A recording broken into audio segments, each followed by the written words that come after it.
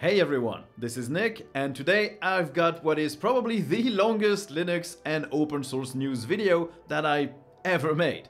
It's long, but don't worry, it's packed with interesting stuff. Among the usual app updates and new projects, we've got more details about Elementary OS 7, and specifically the fact that it's going to let you upgrade in place, finally!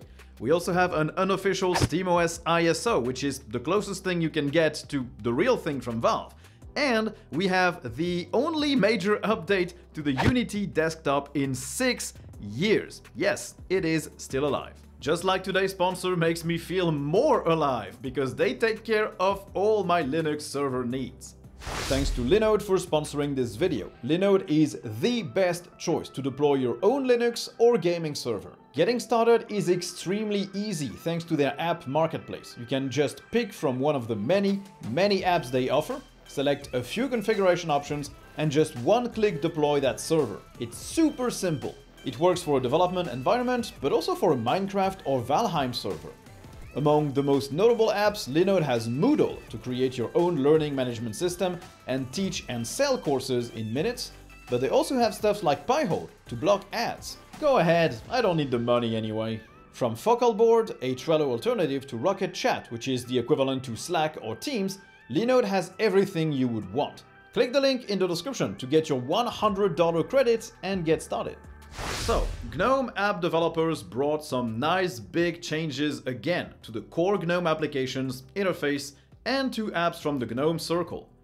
The big change that is planned is two-dimensional gestures for GNOME Shell, which means you'll be able to do workspace switching while doing the overview gesture. It might not sound like much, but it should make using these touchpad and touchscreen gestures a lot smoother. Shortwave, the web radio player, now supports GNOME's dark mode, and it uses libadwaita. Login Manager Settings, an app that does exactly what its name says, now has settings for the mouse cursor, it supports right-to-left languages, and it's now on FlatHub. Ember the new music player, got some design tweaks and some stability and reliability updates. Other apps got some smaller changes as well. I just love these weekly updates to various applications and projects. It's so cool to see great design and really well involved developers. I love it. Microsoft has now joined the Open 3D Foundation, joining the likes of Adobe, Amazon Web Services, Huawei, Intel or Niantic. As a reminder, the Open 3D Foundation is the organization who handles the Open 3D engine, whose source was donated by Amazon. Microsoft will get a member in the governing board as the company joined as a premier member, which means they should have donated some nice amount of money to the project. It's easy to see how Microsoft might benefit from investing in an open engine, as they could more easily place integrations with their own graphics APIs, various Windows APIs, and maybe even offer it to developers who want to make games for Xbox or Windows, as they had already open sourced their game development kit last year, containing all the tools needed to build games for Game Pass for PC, Xbox consoles, and xCloud. I, for one, am glad to see big companies like Microsoft investing in open source software, even if it's only to further their own goals and not specifically for the good of the whole open source community. In the end, we've got better software for everyone, and these kind of organizations generally have a good governance board that prevents giant companies from imposing their own vision. If you've been lusting after a SteamOS 3 ISO to install on your own desktop or laptop or to create your own Steam console, there are good news. Holo ISO isn't an official release from Valve, but it's the closest thing yet. It packages everything from SteamOS, as it's currently available on the Steam Deck, in a convenient ISO that you can install on any computer. You get the first run experience, the KDE desktop mode, AMD FSR, the GameScope compositor, basically every single feature of SteamOS, but you also get its current limitations. The ISO won't work at all on NVIDIA-based systems, as NVIDIA drivers and GameScope don't really know how to talk to each other yet. And Intel-based computers will also require package downgrades. If your device runs on AMD hardware though, you should be up and running in no time. I'd personally rather wait for the official ISO, I'm not in such a hurry, but if you are, that's the closest thing yet. KDE developers are getting into high gear to prepare the release of Plasma 5.25 next month, And this means more weekly updates. A ton of stuff has been ported to Qt Quick, so they should align more with modern KDE UI design, on top of offering streamlined code and better separated internals. New features include support for exporting searchable PDFs using OCR in Skanpage, Dolphin letting you sort files by file extension, and the Plasma Wayland session lets you use resolutions beyond the officially supported ones. Applications using the Desktop Portals API now have a better app chooser dialog to choose which app to open a file with. And there's a new preference to decide if you want to skip minimized tasks when scrolling over the task manager. In the visual department, Nicolo Venerandi has also pretty much completed work on floating panels, which means your Plasma panels will now be able to float above the screen edge if you so choose, although that change might not make it to 5.25. I really hope it does though, as these floating panels were one of the main reasons I used Latte Dock back when I used KDE Plasma. Eye candy, it's worth every crash. If you thought Unity died when Ubuntu ditched it for GNOME, well, turns out you were wrong. Unity 7 got its first new major release in 6 years, with a bunch of new changes. It brings a redesigned dash and HUD, and the whole desktop has a flatter, more modern look while keeping the blur Unity users are used to. All the docs menus and tooltips have also been redesigned, and speed improvements have been brought to the whole desktop, including on the low graphics mode. RAM usage has been reduced to about 700 to 800 megabytes, and plenty of bugs have also been fixed, including the empty trash button in the dock, and broken app info and ratings in the dash preview. Unity 7.6 is now also completely migrated to GitLab, which should help people contribute, and it now compiles on Ubuntu 22.04 as well. Looking at the screenshots, it does indeed look pretty good. And Unity is a desktop I loved and that I always regretted that Ubuntu kind of abandoned when they moved back to GNOME. So for nostalgia's sake, I will probably give it another go and another look, maybe next month. Matthew Miller, the Fedora project lead, was recently interviewed by Tech Republic on the future of Linux. The whole interview is an interesting read, but here are some highlights. Matthew points out that there is no mass market for operating systems, which does limit the growth of the Linux desktop. People just don't generally think about that stuff. As such, he thinks we need to take a different approach to marketing Linux than it's tech and it's super interesting. Matthew thinks that our messaging should be built around the fact that you own the OS and its applications and that you are in control without falling into the if it's free, you're the product pit. He also says that Fedora's vision isn't to get it running everywhere, but to build an open and inclusive community that benefits everyone. Matthew points out that while having developers is crucial, non-technical contributors are severely lacking, like writers, artists, communicators, and organizers. The interview continues on to talk about Fedora, its mission, its five-year plan, and the benefits of the open source community. It's a very interesting read, and I'm not just saying that because I use and love Fedora. Promise. Danielle Foré published a new blog post detailing the latest changes in Elementary OS 6 and the plans for OS 7. It's now possible to set the super key to display the multitasking view, which is a change that GNOME users might find pretty useful, and you can now set the refresh rate for IMAP in online accounts. The window manager has plenty of bug fixes to better handle the multitasking view when display configuration change, and code, the text editor slash IDE, can now understand regular expressions when searching. It displays hidden folders in the sidebar, and a few crashes were fixed.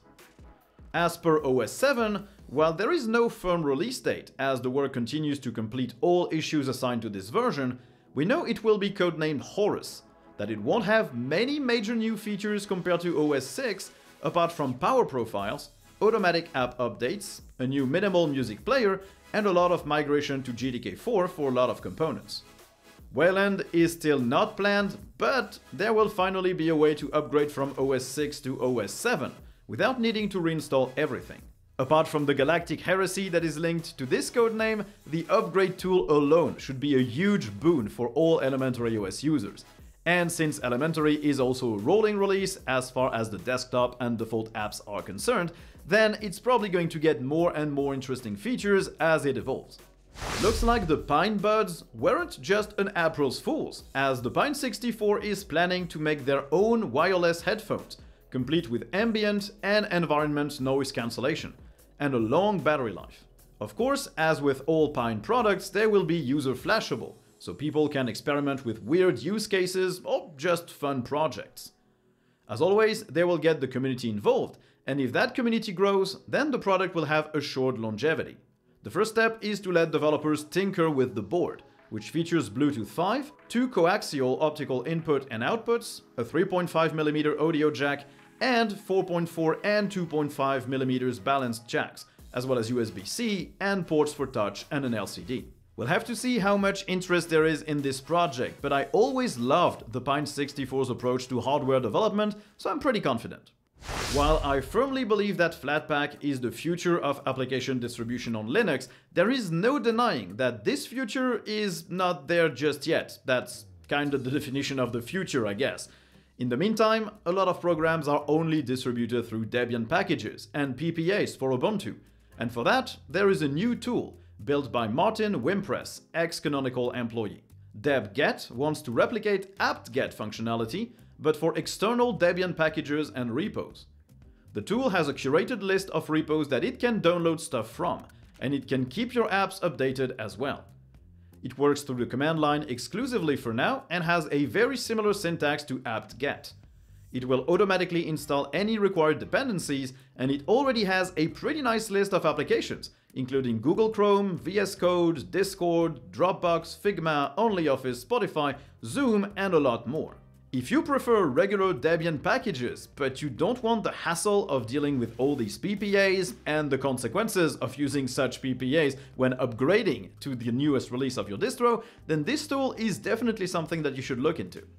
If you're an Apple Music user, but you also run Linux, you might be delighted to learn of the existence of Cider, an open source application that lets you listen to Apple Music using the official Apple API.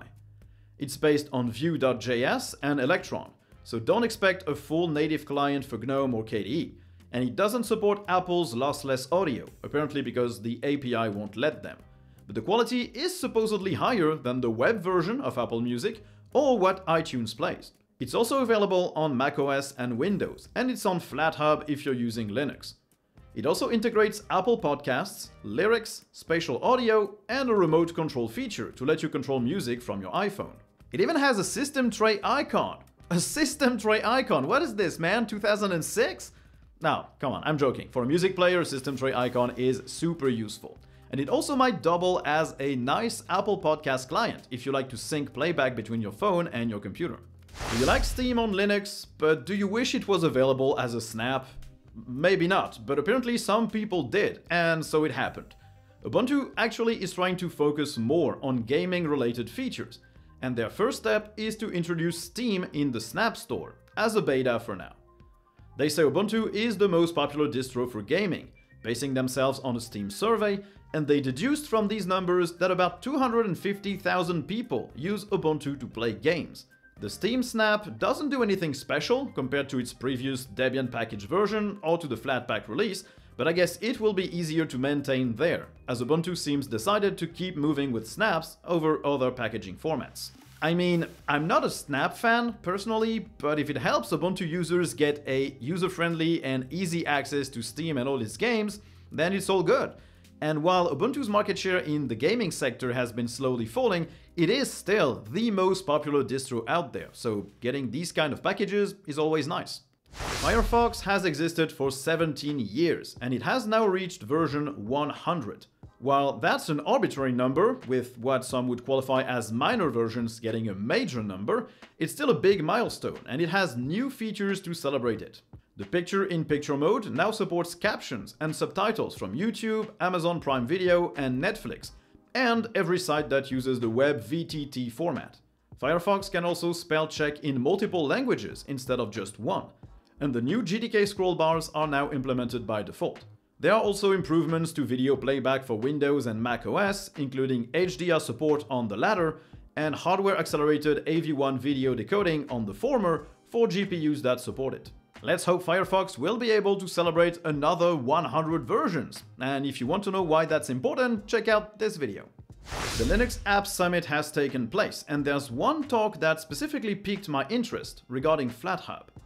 It seems that the app repository is growing quite fast, having reached 1600 applications and 1.2 petabytes of downloads, which roughly corresponds to 4.5 million apps downloaded each month and 10 million updates. The two speakers also presented a few interesting things happening on Flatpak and FlatHub, namely portals, which seem to be the true Linux desktop API, as they let you interact with the system safely without having to use various methods and underlying systems that come from different frameworks. They also reiterated that FlatHub's goal was not to package apps, but to offer a distribution platform where developers have control. They cite a few examples, like OBS, Bottles, or even Microsoft Edge, published by Microsoft directly to FlatHub for easy distribution on the Steam Deck, after the FlatHub team reached out to them to let them know there was an easier way than what they had initially wanted to use. The speakers also said they want to focus on letting developers make money off of their applications if they so choose, without going into the traditional App Store model people know on Android or iOS. They're implementing developers and user accounts with a verification system, various sliders to let developers decide how much they want for their work, as a payment or as an optional donation with options to donate to various projects instead if the developer doesn't want to keep the money for themselves. They also concluded on the various issues that Flatpak still has, like permissions not being correctly set up on all apps, screen sharing problems, and others. All in all, it was a great talk, and I really encourage you to watch it in its entirety, especially if you want to know why I think that Flatpak and FlatHub are the future of app distribution on Linux. You might remember the Kubuntu Focus, a very powerful laptop for gaming, or anything else that requires intense graphics and processing power. Well, there's a new version of that device, the Focus M2. It comes with an i7-12700H, a 165Hz 1440p display at 15 inches, and up to 64GB of RAM, complete with Thunderbolt 4, up to an RTX 3080 Ti, and 4TB of NVMe SSD storage. It starts at $1,895 US and it's a chunky device at 2.4 kilograms, made out of aluminium, which also embarks tons of ports like USB-C, multiple USB-A, headphone and mic jacks, Thunderbolt, mini DisplayPort, HDMI, microSD and Ethernet. It supports up to 4 external 4K displays and has a privacy shutter for the webcam. Of course, it comes with Kubuntu 22.04 and some special tools to configure all of its features. It looks like a Tuxedo laptop with a specific branding and some specific configurations, and it starts shipping in a few days. Of course, some of the profits will be paid directly to Kubuntu and KDE, so if you want to support these projects, that's the laptop you want to buy. And speaking of Tuxedo, they're our new channel sponsor. Tuxedo makes devices that run Linux out of the box. I've reviewed a lot of them on the channel and they're great. You have tons of choice from small and affordable laptops to the biggest gaming or production desktops. Each device has a plethora of options to configure it to your needs and they can engrave a custom logo on your device. They have that all-important Tux branded super key and they also ship worldwide with a large variety of keyboard layouts.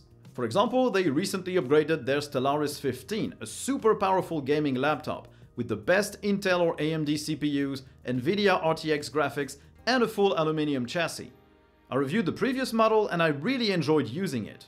Click the link in the description below if you want to learn more about all the stuff that Tuxedo has to offer. They are really, really good.